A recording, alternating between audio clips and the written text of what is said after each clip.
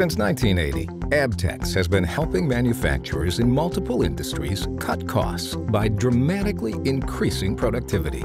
For today's manufacturers, efficient use of floor space is a major concern. That's why a customer recently reached out to Abtex.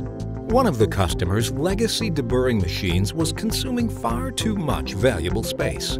The customer produces large volumes of sintered powder metal transmission components. Often, one surface is flat and the other contains a raised feature.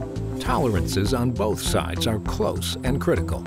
To devise a more compact and efficient solution, Abtex engineers started with the company's proven Tri-Ten deburring system.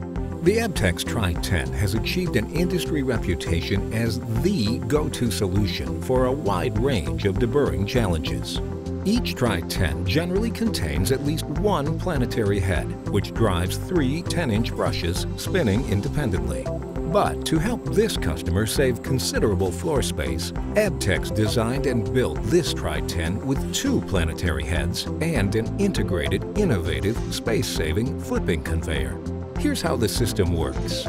Parts are loaded either manually or automatically onto a conveyor at the entrance of the Tri-Ten. Upon entering the system, the parts are held firmly in place by permanent magnetics in the conveyor as they travel. The exposed surface is precisely deburred under the first planetary head. Parts are then transferred to the flipping conveyor. They are magnetically turned to expose the opposite surface and released to slide down a chute and proceed to the next planetary head.